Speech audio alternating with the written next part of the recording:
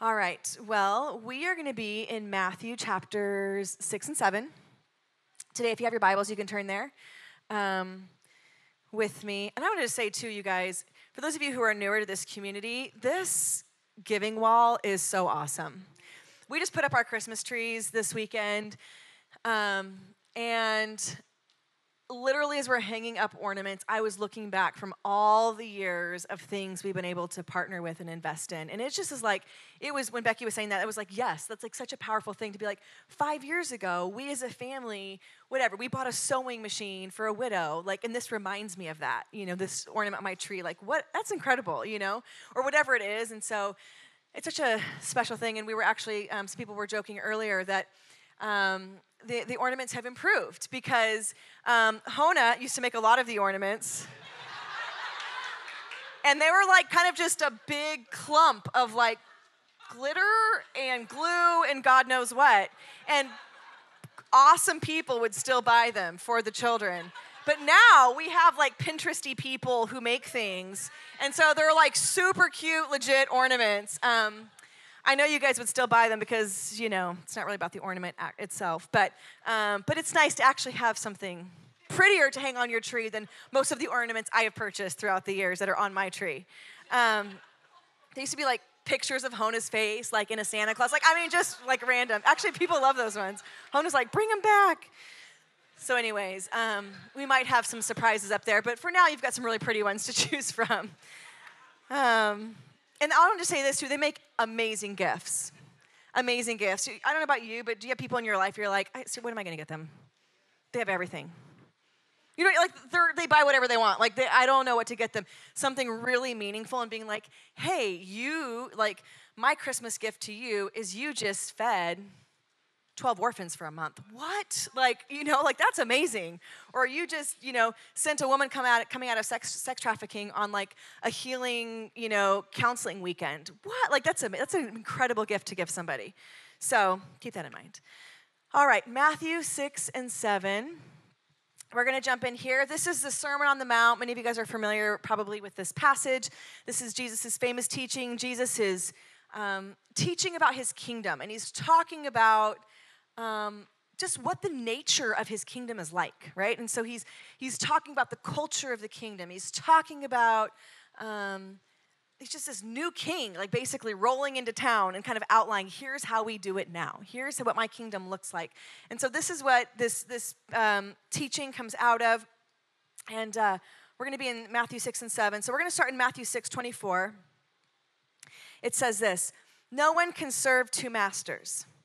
Either you will hate the one and love the other, or you will be devoted to the one and despise the other. You cannot serve both God and money. It's a good little place to pause. I can't be done. And I think we have to kind of get in our head the right mentality of that verse because sometimes we're like, I don't serve money. I don't have like a little, you know, altar in my house with like the dollar sign that I like bow down and worship. Like I don't do that, you know. But that's not what this is talking about. It's it's do we serve money or do we serve God? What makes your decisions for you? Is it what God said or is it because that's what financially makes sense for me? Do I get up and go to work because I need to provide for myself or do I follow what God is where God's leading in my life and trust that he's going to provide for me?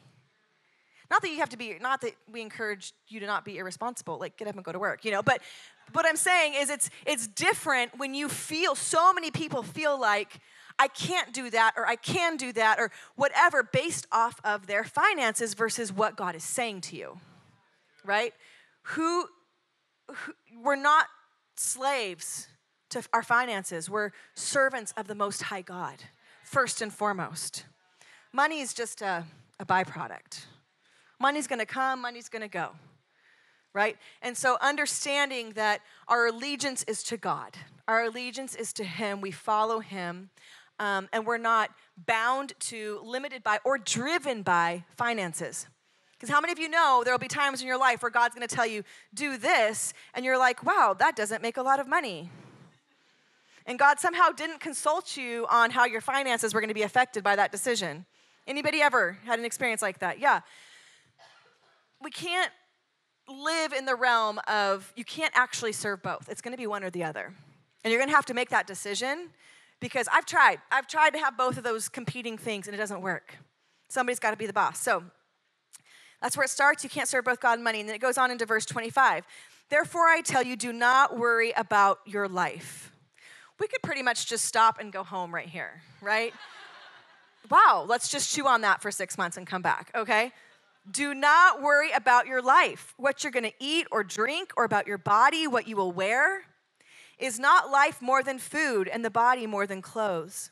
Look at the birds of the air. They don't sow or reap or store away in barns. They're not hoarders. Oh, wait, I thought that's what it said. And yet your heavenly Father feeds them.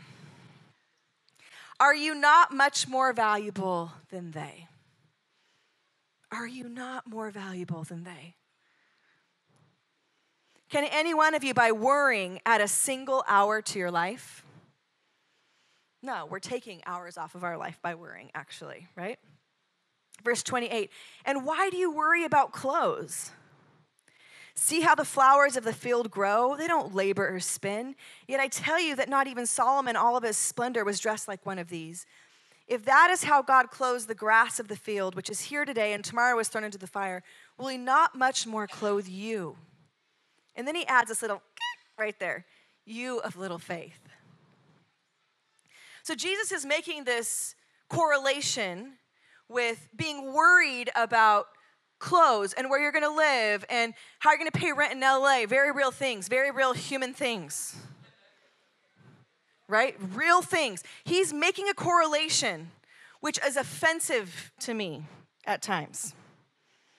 Because it feels very normal to worry about those things. And he says, worrying about those things puts you in the OE of little faith category. Ah! Sure, rent was cheaper in Bethlehem or wherever you were, Jesus, right? But the same truth applies. And then he goes on and he says, verse 31 So do not worry, saying, What shall we eat, or what shall we drink, or what shall we wear? For the pagans run after all these things. I mean, now he's just getting rude, right? Like, Wow. So now it's just not a lack of faith, it's actually the pagans. Like the unbelievers, the people who have no clue of who God is, they run after those things. But then listen, and your heavenly Father knows that you need them. He knows that you need them. He knows what you need. He's a good father. It doesn't say, and God, and he could use a lot of words. He used the word father. Your Father knows that you need them. And then it goes on, but seek first his kingdom and his righteousness, and all these things will be given to you as well. Therefore, do not worry about tomorrow, for tomorrow will worry about itself. Each day has enough trouble of its own. Amen. Right? This is powerful. So we're told don't be obsessed with worrying, anxiety. Ah, how am I going to do this? How am I going to pay? How am I going to ah? freaking out after these things? Instead, we're commanded seek first the kingdom. Seek first his righteousness, and everything else will be added to you. Now, you'll notice it says seek first his kingdom. Seek first his kingdom. That's not my kingdom. Most of us, you know, well, no, that's not. Let me rephrase that sentence. It's not most of us. Sometimes people, that's better. been having this conversation with my kids. I'm like, no, it's, it's not always. Your brother doesn't always. We don't, you know, it's like, watch your language. Um, sometimes people, we, we're building actually our own kingdom and we think it's God's kingdom. we're seeking first our own benefit, our own calling, our own kingdom, our own whatever. And we, you know, but I had three prophetic words, I put this bow on it, so boo, it's kingdom. It doesn't really work like that, right?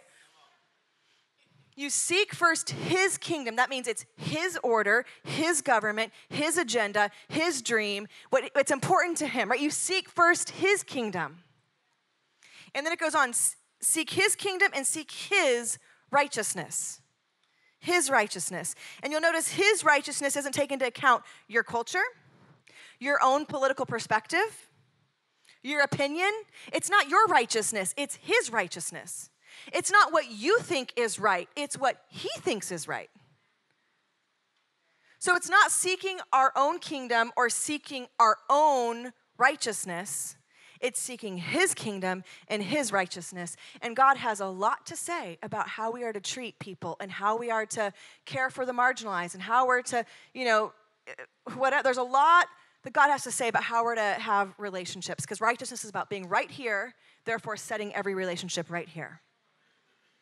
So when we're in pursuit, first and foremost, of his kingdom and his righteousness, then all of a sudden, everything you need gets added to you. You see, when we are in pursuit of everything we need, which is how a lot of people live their life, they're first in pursuit of everything they need. And then if there's leftovers, we'll talk about the kingdom. And Jesus flips that whole thing on its head and he says, actually, that's that's not how it works. Seek me, seek my kingdom, seek my righteousness, and you watch every, I bring everything to you that you could ever need. And let me tell you this, let me tell you this. I have seen this in my life. If you will do it his way, he will bring to you above and beyond what you could have ever brought to yourself by seeking your own benefit first. I'm telling you. I know that fear of if I let go and don't drive this thing, don't drive my own provision. Don't drive my own open doors. Don't drive. If I let go and don't do this, the fear is that I'm not going to have enough or it's not going to be whatever. And I'm telling you, God is faithful and God is good. And He will bring you far more than you could have ever, ever, ever, ever brought to yourself. It's just the principles of the kingdom. He's so good that way. I love it, this verse in the, the end of that in the Passion Translation. It says, So above all, constantly chase after the realm of God's kingdom and the righteousness that proceeds from him. Then all these less important things will be given to you abundantly. Isn't that good? I want to tell you this story um, that kind of shows how this works. But um, when Jona and I were first married, we were real poor. I mean, real poor. We were like full time missions work. I was living um, in Kenya and we just we literally we were in a season of giving everything away not trying to acquire anything so we were just giving it all away we were both in full-time ministries and missionary we were just we were just like okay we're just going to go live on the mission field for a while and and um, just passionately going after god and and so we had a plan because we were super poor, and we were like, okay, we're to definitely wait a couple years before we have kids. And um, I don't know if anybody's ever ready to have kids, by the way. Um, for those of you who were like super ready, like congratulations, you're one of a million. But um, so, anyways, we were like, yeah, definitely to wait a while. And whoops, we ended up pregnant, and um, like three months after we got married, and we are like, dang it, we weren't planning that, but okay, here we go. So. So then we were about to have a baby and still poor. You know how that works. And um, and so part of the challenge for me was, you know, first pregnancy, you're having a baby, and, and we found out we were having a girl. All I wanted to do now, guys, maybe you can't relate to this, but ladies, I mean, you walk through the baby section in Target and you're like, oh my God, it's so cute. I want to put that in my cart. You know, I want to buy this stuff. And it was just like cuteness everywhere. And I wanted to buy stuff, and we had zero money. And um, we were actually heading back into Africa and taking a team, and we just had no money to do it. So I was like, oh, like this is so hard. Like I, you know, can't, I can't, I don't, if my kid can have anything, like, is this gonna be like a little naked baby? Like, am I gonna be that mom? Like, Amazon mom, like, gen, not like Amazon Prime, like Amazonian mother. Like, what is happening? And um, it was just like, oh, this is hard. And anyways, we were actually at that time doing a clothing drive um, for kids because we were taking, like I said, a team into, into Kenya and Rwanda. And um, so we were going to take in some clothes to the kids we were working with. And so we had different people from Expression was were giving, dropping off clothes, and we packed up all the clothes and we packed the suitcases. And there was there were seven suitcases, and we packed them all up. And um, so we were like, this is awesome. And I was looking at the clothes. These were these were we had asked for gently used clothes, you know, and um, some of them were a little more than gentle. And we're like, toss those. But okay, so we we gather these clothes and we pack these suitcases, and we start um, traveling. And the first place we went was into Rwanda, and we took about half the bags, and we left half in Kenya, and took half the bags. And we thought, okay, with these bags, we're hoping that we can like fully bless 50 kids.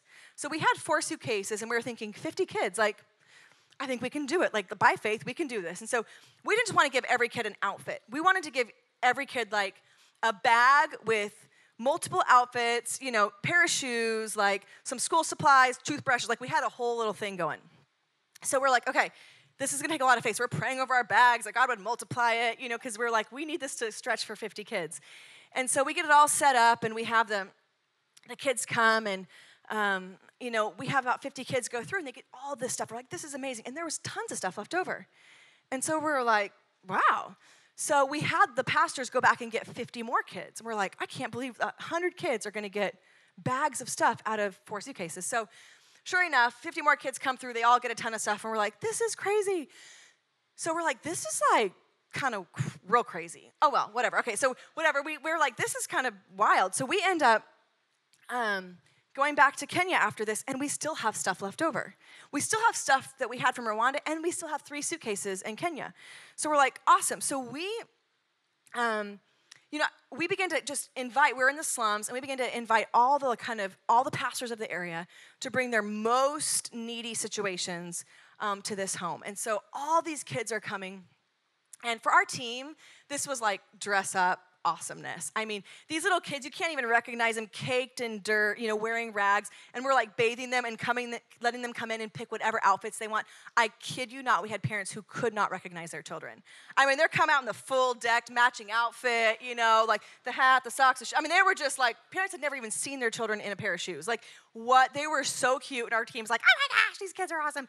And so these kids are just getting all this stuff, you know, getting rocked and but part of what was crazy was I had packed those suitcases. I knew what was in them. And we're pulling out things. I'm like, I'm sorry, where'd that come from?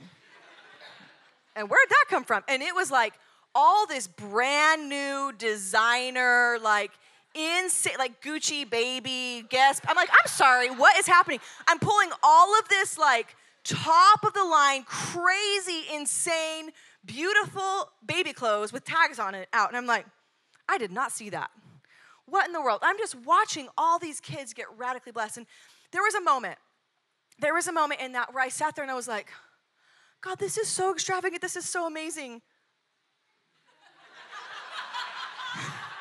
I literally had this moment like, had I known that was in there, I might have saved that for me, you know? Um, thinking like, wow, like, you know, are you going to be this generous with my kids? Because we have no clothes either, you know, and I'm just like watching these beautiful things, you know, like go out to these kids. And, and there, I just heard so clearly, I heard the Lord speak, and He just settled the issue in my heart. And He, so clearly, He spoke to me that day. We were sitting there, and He said, I want you to get this. He said, if you will be faithful to look after my babies, I'll be faithful to look after yours. And I knew in that moment it was a done deal. I knew in that moment God was good. I knew He was going to look after us. I knew just like these little, these cute little babies in the slums are getting top of the line designer, like $300 jeans because God wants them to have it. God was going to take care of my kids. I just knew it was a done deal in that moment. I was like, God, you're so good. And it was incredible and that day was just wild because i mean literally it was like okay at that point we realized something miraculous is happening because this is like not normal. And um, you know we just kept bringing more kids more kids more kids and we just had all this stuff and we're like we're not running out. This is bizarre. And so i remember this you know there's actually a few honey was reminding me there's a few cases like this but this one particularly i remember so clearly um, where we had given out all the shoes at this point. So now we just had clothes like a bunch of clothes and no shoes left and um, there was one little girl who came late, and all the other kids had gotten shoes, and she didn't have shoes. And she, all she wanted, and she kept telling our translator, all she wanted was a little pair of black, like Mary Jane style little shoes she could wear to school. And she wanted them so bad. And, you know, they kind of, we were drawing their feet out and measuring their feet and doing the whole thing. And this girl's like size, I don't know, let's just say 12. I don't remember the size it was, but size 12. And And um, and so I tell the team, I'm like, do we have any more, you know, shoes? They're like, we have no shoes. We have searched, there's no shoes. Granted, we only have three suitcases. So it's not like there's like 30 suitcases to search through, you know? And they're like, there's no shoes. And I was like, yes, there is. In the name of Jesus, you need to stick your hand back in that bag and pull me out some size 12 Mary Jane shoes right now. And they were like, right? And I'm like, do it. And they're like, okay, Jesus, whoo. They start praying in tongues, you know, and just woo, stick their hand in that suitcase. You guys, we were all like, oh my God! Like they pull out size 12 black little Mary Jane shoes for this little girl. And the look on her face was like, Jesus loves me. And it was just so awesome. And we see this little girl get shoes, and we're all like just wrecked, you know, like, this is God, you're so crazy. And it was so awesome. And so we, you know, at this point, we're tired. We've done a lot of this. We're like, okay, we're done for the day. But we still have a ton of clothes left. And we're like, this is genuinely multiplying at this point. And honestly, kind of crazy. Like, we didn't really plan to keep having to give clothes out. So now what are we gonna do, right? we were traveling to the other side of the country and we were like, we did not plan on taking these suitcases, but here we go. So we took these suitcases and we're like rounding up the end of our trip and we were like, okay, we actually have to get rid of this stuff. We're not taking this stuff home. So um, we got like, we just were like, okay, let's do it. So we got these huge black trash bags, okay? Not like your little bathroom trash bag. I mean, big, hefty black trash bags. And we filled them up with clothes. We had seven suitcases to start, just mind you. Filled them up with clothes, and we took a huge trash bag of clothes to every single hospital and orphanage in the entire county district. Multiple, lots and we would feel like so we would put all the newborn baby clothes like in the in the one big bag and we'd take it to the hospital and be like anybody who comes in here has a baby has some needs pull out of the bag right? Here's we'd find out okay this orphanage has mainly older kids. We put all the teen clothes in there whatever and send them. We just did this right? So the group i went in um, was this big orphanage that had a couple hundred kids and and so we took this huge trash bag and i knew their kids were kind of between four and 12 so i you know, I'd personally helped pack that bag. We packed all this clothes for, for kids that age and showed up and greeting them, having some tea and, and um, talking with them. And, and the, the, the director of the orphanage says, By any chance, did you happen to bring any baby clothes? And I was like, Oh no, like, you guys don't have babies here. And she, she was like, I know, but we just had um, a newborn baby um, was left in a trash can and somebody found it and brought it to us. And so we're going to take this baby. We were taking this baby. She's only three days old.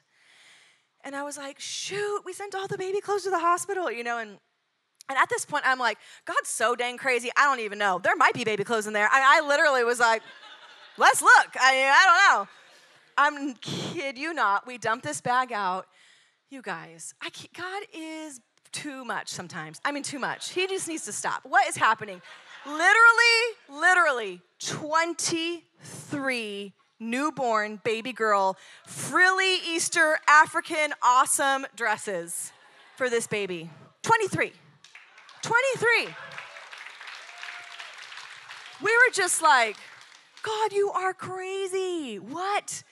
Um, yeah, we have 23 dresses for her because God's extravagant and he thinks she needs to be frilly and awesome every day of the month. You know, like this is awesome. so we're just like blown away and just like, this is crazy, right? Well, we still have stuff left over. We still had stuff left over. And I, we were just like, this is, at this point, we're like, this is so supernatural and crazy. This is like real wild. Like, we need to get rid of this stuff. So we do something that we would never, ever, ever normally do um, in a context like this for reasons. And um, we literally dumped these bags out on this church floor in this village. And we're like, Does anybody have kids? Do you know a kid? Do you know somebody who might one day have a kid? Do you, you know, does your auntie, cousin, whoever have a kid? Like, come get what you need. I mean, mass chaos. I'm talking, they came, sure did.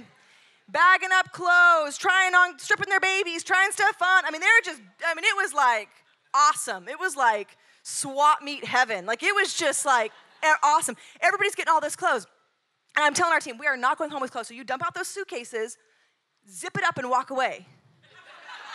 Don't let anything get back in there. We've got to leave tomorrow. Like, this is crazy. So we're just dumping stuff out, and people are coming and um, getting all this stuff. And we're, you know, the whole time I'm like, wow, God, you're so awesome. Like, you're so awesome. And, you know, I, I say this because the part that really, I mean, that was obviously hugely impactful, but the part that really impacted me was um, after the trip, we went home. And sometimes you do when you go on trips like this, or if you go into places where there's lots of critters, we left our suitcases in the garage. Good tip. Those of you going to Uganda, if you're not staying somewhere where you're like, your suitcase also gets to be in a mosquito net, you might want to just, you know, leave it in the garage for a minute, let the little creatures crawl out. and um, so we left our suitcase in the garage. Everything was filthy, and and um, I went out to do laundry, and I um, I opened it up, and I'm sitting there, and I'm pulling out our clothes to get it ready and um, to throw in the washer, and all of a sudden I start to pull out of my suitcase. Now, our personal suitcases were never with the team suitcases, ever. They were in our possession the entire time. Out of my suitcases, I start to pull out this beautiful little baby girl clothes. And I sat on the floor and just wept and wept and wept and was just like, God, you are so wild. You are so wild. And I knew in that moment that if you make it your priority to seek first the kingdom, if you make it your priority to seek God's agenda, to take care of His business, I'm telling you, He will be so faithful to add to you everything you need. And let me say this that was just the beginning. My children have never lacked for clothes. My children have never lacked for anything. They have been so extravagantly blessed by God. I'm telling you, He is faithful. He is so faithful. Amen? Okay, let's continue on. So Jesus is, is outlining this. He's talking about trusting him. He's a good father, all of that, right? And then it goes on, and it um, Matthew 7, I'm going to be in the, tra- the Passion Translation here. It says, Refuse to be a critic, full of bias toward others. Okay. If I need to read that one more time. Jesus said, Refuse to be a critic full of bias toward others, and judgment will not be passed on you. I call this the judgment trap. The enemy tries to lure you in to get you to be a critic, to get you to judge, and then he throws it back in your face. And you end up being the one getting judged. Don't fall into the trap. Jesus says, refuse to be a critic, and judgment will not be passed on you. Let me just say this if you're going to refuse to be a critic, that means you're going to have to become an expert in seeing the golden people.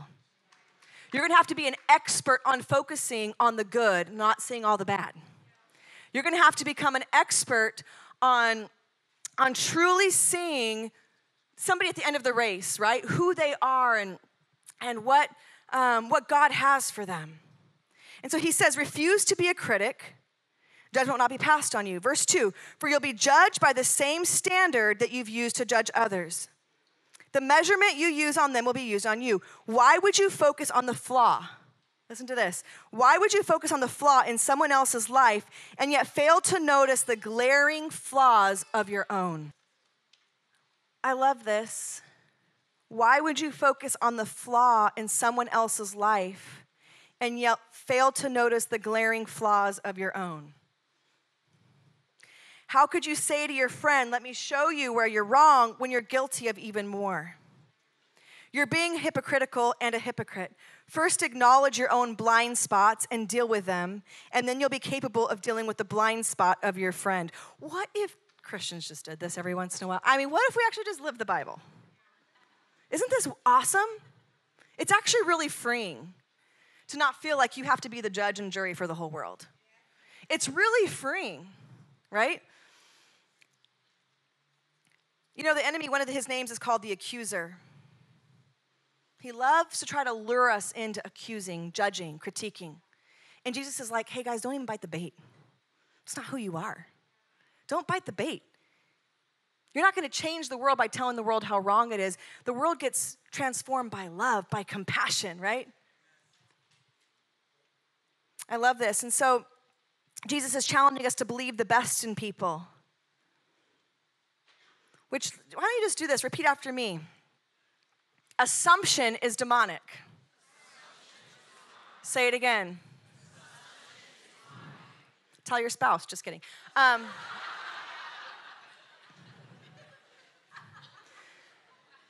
don't, don't do that. I want you to stay married. Um, assumption is demonic. And we think it's like normal. We think somehow we're just, oh, we'll put a we'll put a religious bow on it. We're, oh, that's discernment, sister. No, that's still assumption. You're, it's easy, right? It's, it can be easy to make assumptions about people who are different than you, who vote differently than you. You assume you know their motive. Oh, I know their motive. Oh, do you? Because you're God. Oh, I'm just looking at the fruit. Well, through a very slanted lens of your own. Too honest?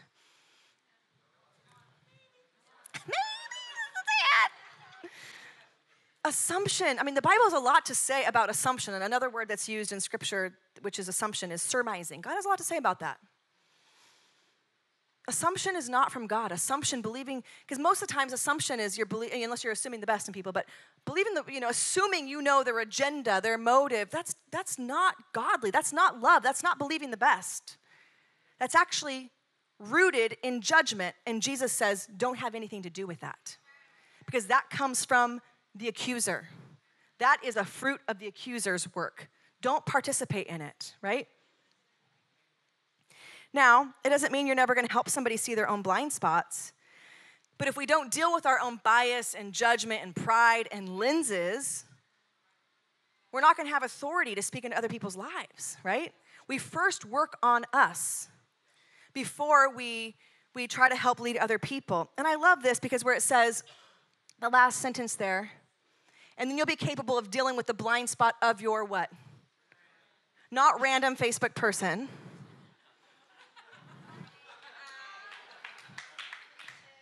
This happens over the dinner table. This happens in the context of friendship. This happens in the context of relationship. We cannot try to change people, influence people that you are not willing to invest in. You know why Jesus could influence people because he came and got on a cross for them. We're trying to influence people we're not even willing to make our own friend, right? If you, you know, to really have impact and influence, you, it, that happens in the context of relationship, real relationship. Walk alongside an immigrant before you develop an opinion. Walk alongside somebody in homosexuality before you develop an opinion. Walk alongside somebody who's a single mom before you develop an opinion, right? Influence and, and all that takes place in the context of relationship, love, somebody feeling love, not just being told, right? We talked about this a few weeks ago. You can speak truth and it can still be coming from a wrong spirit and you still get cast out by the Apostle Paul. Remember that? You guys weren't here for that? Anybody? Okay. It's not about the truth coming out your mouth, it's about is there love in your heart connected to that truth? Right? What spirit is it coming out of? So this is interesting. So Jesus is outlining this, right? He's talking about don't be a critic, don't be, you know, hypocritical. Acknowledge your own blind spots, deal with them. So this is interesting because first he's talking about, hey guys, I'm your provider. I'm a good father. I know what you need, right? Seek first my kingdom. And then he goes into this. And he's talking about, like, I'm a good father, I'm a good father. Here's how to live. Here's how to love people. And it kind of at first you feel like, this is kind of a weird sermon point. So suddenly talking about judgment, right? And then it goes on, it gets even weirder. Verse 6, he says, Who would hang earrings on a dog's ear or throw pearls in front of wild pigs? They'll only trample them under their feet and then turn around and tear you to pieces. You're like, that's just got weird real quick. Right? All of a sudden, we're talking about dogs, pigs, pearls. What is happening? What's happening? And you know, I've heard a lot of people um, use this verse as a standalone. They'll quote this one verse and not in the context of the sermon Jesus is giving. And so, this one verse as a standalone, and it could be used in a way that, that can feel almost offensive, like, you know, sometimes I've heard people use this saying, like, oh, well, you know, that work environment, they don't, you know, I'm not going to cast my pearls in front of those dogs and swines. Like, they don't deserve me. And it's like, whoa, I don't think that's what that verse means, you know. Um, you have to take scripture. You can anybody can take a random scripture and make it mean whatever you want. You've got to take scripture in context, right? You got to look at the bigger picture. What is Jesus saying? And so I think this is very interesting that Jesus drops this in the middle of his sermon on not being judgmental.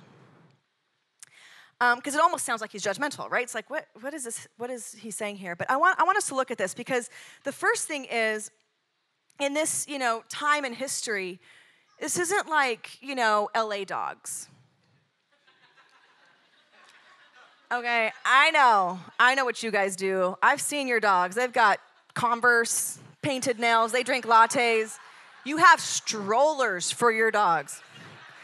Okay, um, this isn't, this is not what he's referring to. Um, in this time and culture, you know, this is a dog and, and a pig is, is really insulting, right? It's this is considered like these are wild animals. These are, you know, this is not like your family pet. This is dogs were like kind of ran in packs and were just kind of scavengers and wild. So you have this, Jesus saying this, and it's so strange. And he's saying, don't throw the gold, you know, the gold, many um, verses say the gold um, earrings or the, the pearls. Now, throughout scripture, you see many times Jesus relating um, the pearl to the kingdom, right?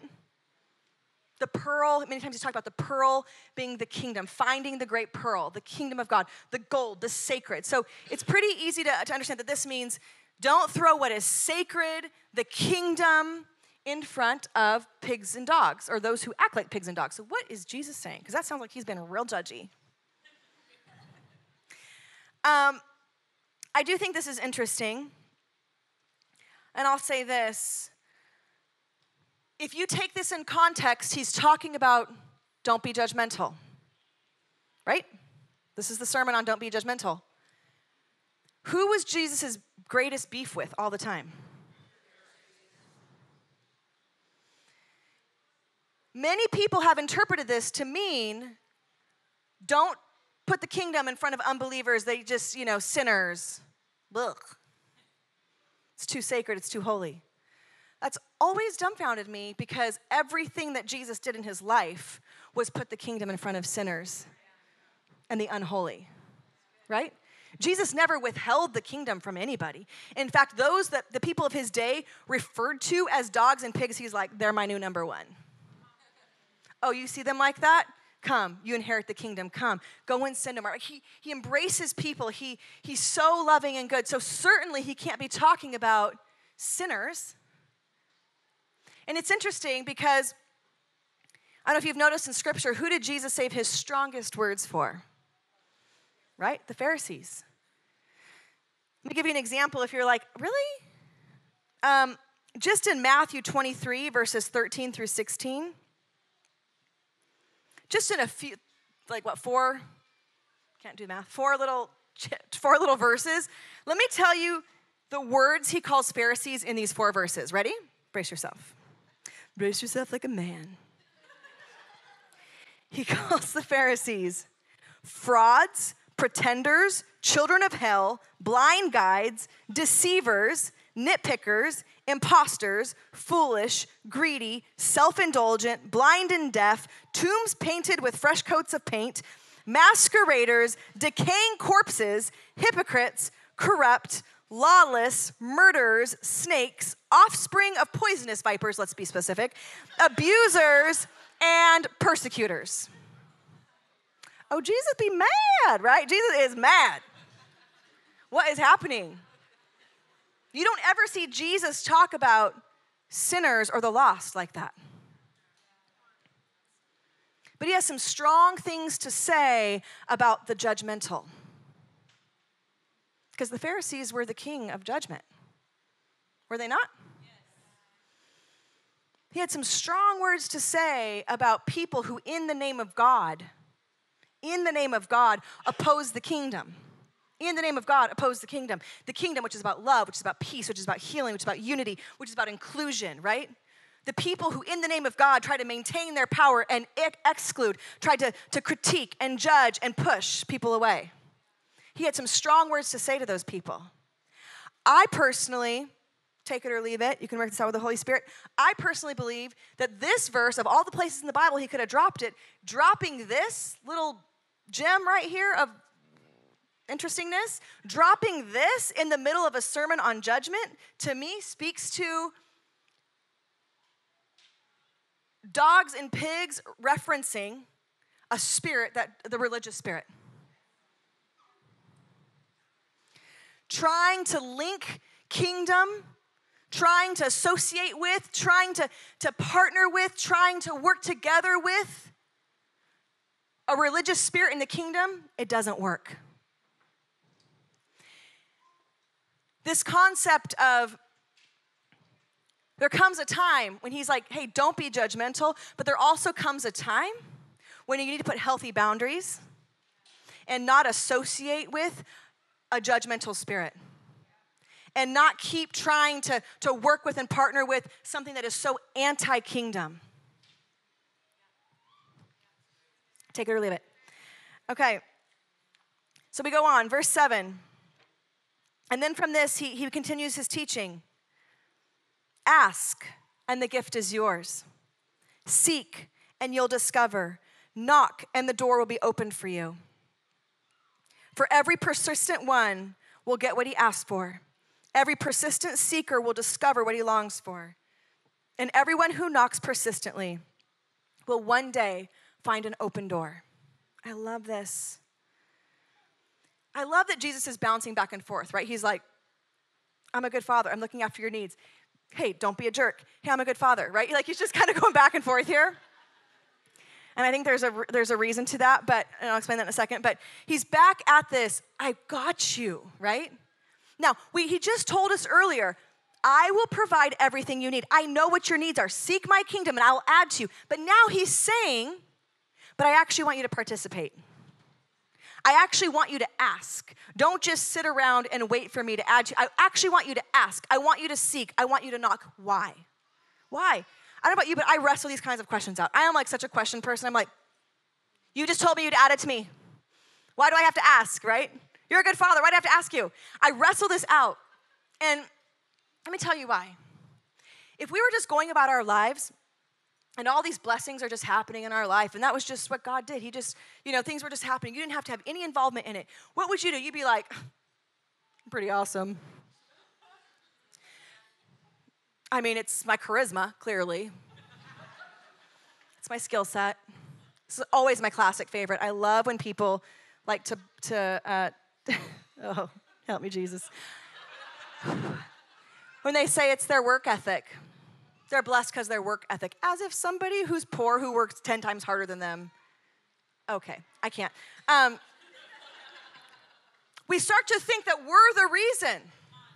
We start to think it's about us. We've lost our dependency on God. We don't understand that every good thing comes from Him, right? And He's more than just making sure you have your daily bread, which, trust me, He wants to make sure you have. He wants to make sure your heart is good for eternity. He wants to make sure faith and relationship are con- and connection are alive in you. He doesn't just want us to sit back and we're not just on this ride like God's just doing whatever He wants and we're all just sitting here. No, you are a co creator with God. You are an active participant in what's going to go down on this planet, right? This is, God has made you a powerful person. You get to shift things by your prayers, by your asking, by your believing, by your connecting with Him. It's, it's incredible when you begin to understand that. I'm not just, you know, everything's, you know, gonna just happen how it happens and it's all just predetermined and I just get to sit here. No. Mm-mm. I'm sorry. You picked and choose on your verses. Because the Bible is all about faith without works. The Bible is all about, right? Ask and you shall receive. The Bible is all about our partnership with Christ in this. You're a huge piece to play in this. And so, yes, as you seek his kingdom, he's going to provide for you. At the same time, he wants to hear your heart. And some of us, I think, maybe we don't even ask. And he's saying, hey, I actually want you to ask. And maybe you're like, I asked and I got a no. Well, let me tell you this. If my kids said, hey, mom, can I drink this red Kool Aid on the white carpet? No, you cannot. And they asked me five more times, nope, you cannot they might change the question. Hey, mom, can I drink this red Kool Aid at the table? Uh, yeah, after you eat these 47 vegetables, you know, whatever.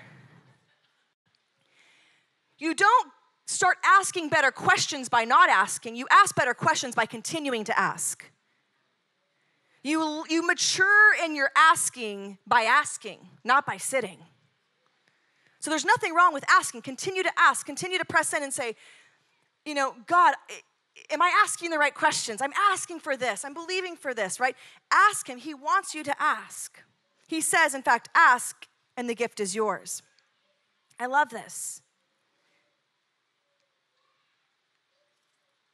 For some of us, I want to encourage you if you've maybe kind of gotten a little quiet and you're asking, or you're like, that just feels whatever. I want to encourage you that we're in a season right now. I mean, this is it's always time to pray, but we're in a season where I just feel this urgency. Actually, this whole message today was out of this.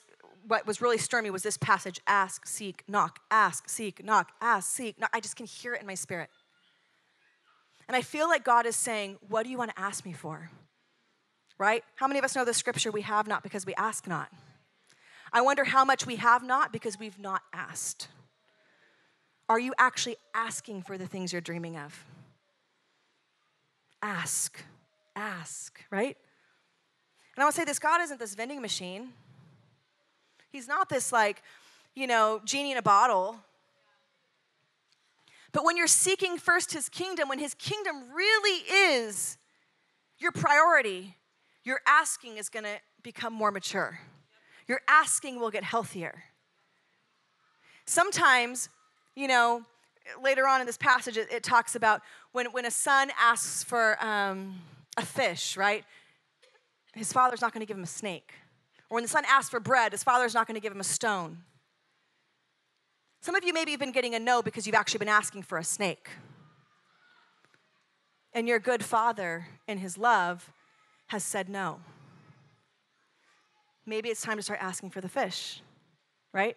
So changing the question, but pressing in and the asking. And the second part of that is seek and you will find, or seek and you'll discover. Now, seeking is different than asking. Asking is, is prayer, it's petition. Seeking is more action. It's like the difference of saying, I need a job. God, please help me to get a job, and then continuing to sit on the couch and do nothing.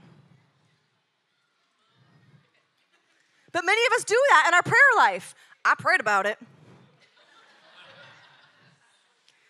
So seeking is the next is the next phase. I'm going to go out and look to see how those things might be answered. I'm going to go out and see how I could possibly be the answer to my own prayer. I'm going to seek. I'm going to search. I'm going to I'm going to find testimonies. I'm going to study. I'm going to um, whatever it is. I'm going to seek it out. I'm going to press in. I'm going to get into scripture. I'm going to get something to hold on to. I, whatever it is, I'm going to seek. A lot of that is we ended asking, let's say, for example, God, I feel like you've called me um, to do something for your kingdom with photography. So we pray about photography, we, we pray that, and then we stop. Go study good photographers. Go, go do free photography. Go get in it. Go just get all up in it. Go seek it out, right? That's part of it. And you're like, well, that feels like striving. No, that sounds like wisdom. Right? So seek seeking. You you take action. You you start digging in. You start wrestling it out. You start saying, "Okay, God, how how is this working? What could that look like?" Right? We used to send our interns to different organizations that we loved in the city. We're like, "Go just serve them for a day and ask them all these questions." Go, go, go pick their brains. Go, you know, I think Bill Johnson said one time if you if you don't have a roadmap for your life yet, get in the car with somebody who does and just watch how they read their roadmap, and then you'll get your own map, right? Seek it out. I love that. And then the final thing, which I love this, is Jesus says, and then knock. You'll notice it's progressive here. It's, it's ask, it's seek, and now it's knock. And the door will be open to you. And this is the one I cannot shake in my spirit. I keep hearing the Lord say, Expression 58, it is time to knock. Start knocking on doors. And here's what you need to know about knocking you knock on something that's closed. As if we're gonna knock on an open door. You have no need to knock on a door that's cracked open, even. You knock on something that is closed and locked and solid. You've already had the no, the door is shut. It's an impossibility. It's just not going to happen. Everybody's told you it can't happen. It's a big, fat, flipping, closed door. And that's when you start knocking. I love this. Knock, and the door will be open. For every persistent one, say persistent. We need to learn the character and the art of persistence. The persistent one will get what he asks for. Every persistent seeker will discover what he longs for. And everyone who knocks persistently will one day find an open door. We used to joke with Cherie years ago that, that we were going to do a sermon called um, Wait That Mother Out.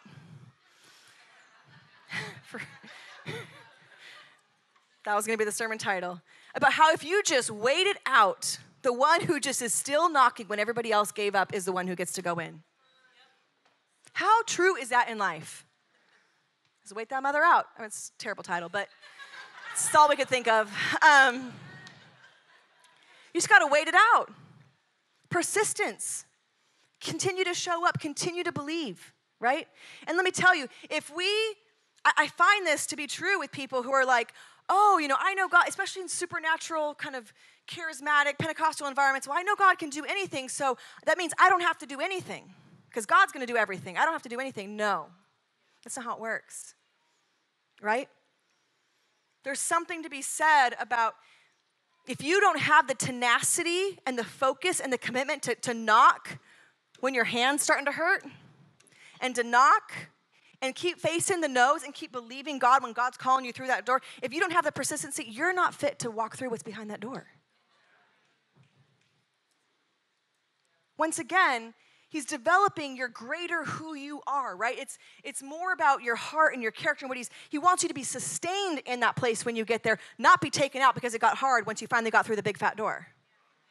He's there's his wisdom is not ours right? So I love this, and I so hear the Spirit saying, it's time to start knocking. I keep having this vision, and I, see this thing switch where you guys know that like picture. It's like the classic. Maybe your grandma or somebody gave it to you on graduation day or something. It's like Jesus knocking at the heart, the door of your heart. You guys seen that picture? The little cards in your Bible. Okay. Um, so I see that picture, and all of a sudden I see it switch, and I, I hear the Lord saying, Yes, I stand at the door of hearts and knock, but I'm also standing at my door in, the, in heaven and looking to see who's knocking on my door. And I see him standing on the other side of the door. That's the picture I keep having. I've had it for months. And I hear him saying, Who wants it? Like, who wants it bad enough they're willing to come up here and knock on my door? Who's willing to come knock on the door of heaven? Who's willing to come and knock on the door of heaven? And I'm telling you guys, I'm telling you, he's a good father. He is a good father. And if you will be persistent and you will you will trust him and you will say, I know who my God is, and I am seeking his kingdom, and I know what I'm called to do, and I am not gonna take, I'm not gonna stop. We're gonna see this thing shift. We're gonna see this injustice shift. I am not gonna stop knocking until it does. We're gonna see this thing, you know, take take shape or whatever. I, I I'm gonna press in until I see God move. And I love what he goes on to say because uh, it's the, the story I was already telling you, but Jesus tells a story. He says, verse 9, do you know of any parent who would give his hungry child who asks for food a plate of rocks instead? Or when he asks for a piece of fish, what parent would offer his child a snake instead? If you, imperfect as you are, know how to lovingly take care of your children and give them what's best for them, how much more ready is your Heavenly Father to give wonderful gifts to those who ask Him? Listen to me, your Father is so good. He knows what you need. But I also want to encourage you to begin to ask, to begin to seek, to begin to knock for real. Like some of you, you just need to go home and write that proposal you have been sitting on for way too long. You need to make that phone call. You need to, to apply for that thing. You need you, take that step of knocking. I'm telling you, I'm telling you, I'm telling you, our God is the God who opens up doors that no man can shut. Becky gave us a word this morning. We're stepping into the miraculous. I'm telling you, if you have ears to hear, if you have ears to hear, this is the season to begin to knock on those closed doors. Our God is the God who opens them. Amen.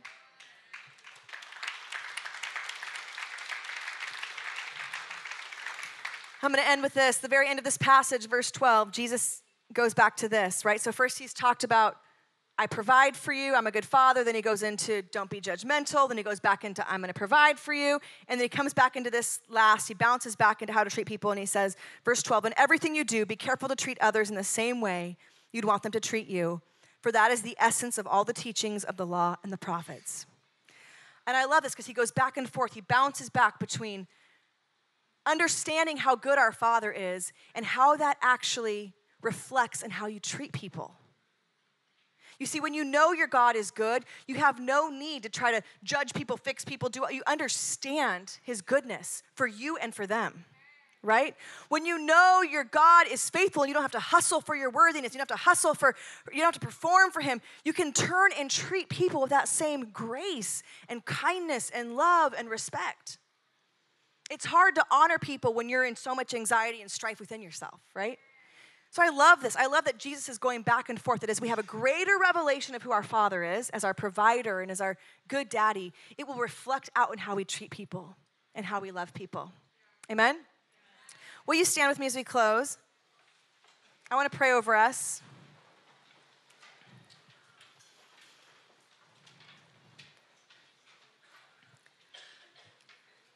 I want to pray this morning I want to pray for courage. How many of you, as you're sitting here, you're like, man, that is me. I, I have been asking, I am seeking, but I know I need to start knocking on some doors. Okay, there's a few of you. Okay, good. How many of you are like, I kind of just gave up on the asking for whatever reason, and I need to start. I need to start that whole thing again. I need to start talking about. Yeah, you don't have to raise your. You're like, um, listen, we're all in this together. We're all in this together. We're a family, and I want to encourage you guys. Listen, I want to encourage you. We are not content with a few people just getting a breakthrough. We're going to celebrate that. That is awesome. We want everyone in this community to break through together. We want everyone in this community to fully be who God has called you to be. We want every one of you to experience all that God has for you in this season. We want to see every one of you fully walk into God's highest and best in your life. Amen? So let's pray. Jesus, I thank you, God, that you are such a good father. I pray that you would realign our focus, Lord, to truly pursue your kingdom and your righteousness, God. Anywhere where we've gotten a little off, God, and maybe pursuing a little bit of our own kingdom or a little bit of our own righteousness, God, I pray that you would realign us with full pursuit, full pursuit of your kingdom and your righteousness. And I thank you, God, that you will be so faithful to add everything we need. Lord, I pray that you would help us to be professional. I don't know, the only word I can think of is gold diggers. Um, professional gold diggers of humanity. Some of you trying to claim that in the wrong way. Lord, I pray freedom for those people. Just kidding. Um, Lord, I pray that we would be professional gold diggers, Lord, in seeing the gold in people and digging it out, God. I pray, God, that we would not be caught up in what people are doing wrong or how they're living wrong or how they're voting wrong or how they're existing wrong. Lord, I pray that you would free us from judgment, free us from critique. Lord, I pray that you would pull your church out of the judgment trap. God, and that we would get so honed in to how you see people, God, that we would be ones who love wildly, God. And I pray, Lord, that we would get free Lord, from um, examining what's in everybody else's eye, God, that we would look in our own, Lord. I pray that you would free us, Lord. And I pray for the courage to walk in real relationship with people, God. I thank you, God, that our influence only goes as far as our love. And so, God, I pray that you'd expand our love for people. Expand our love for people, God. And Jesus, I ask, Lord, even as, as the last couple weeks you've been speaking this over and over and over in my spirit, I know this is a word for us as a family. It is time for us to ask, to seek, to knock, because it's time to discover. It's time to have open doors. It's time for us to, to inherit the kingdom. And so, God, I pray for everyone in this room, I pray for the courage, the courage to begin to, to, to ask, to seek, and to knock, Lord anywhere where we kind of grew weary in that process, Lord, I pray that you would help us to, to begin to ask better questions to begin to ask a little differently, God, to begin to uh, improve the ask, Lord, as our focus on you gets sharper. And Lord, I thank you, and I can sense in my spirit, God, I thank you that doors are opening in this season. And we just decree it and we declare it. The doors that have been closed and straight locked up for a long time are gonna open in the name of Jesus, Lord, as your kingdom advances. We just declare, God, that, that you open doors that no man can shut. So we align ourselves to that truth, God. We wanna see your kingdom move forward, your agenda move forward. I pray for your fa- just faith to fill us and courage in our hearts, Lord. In Jesus' name we pray. Amen. Bless you guys.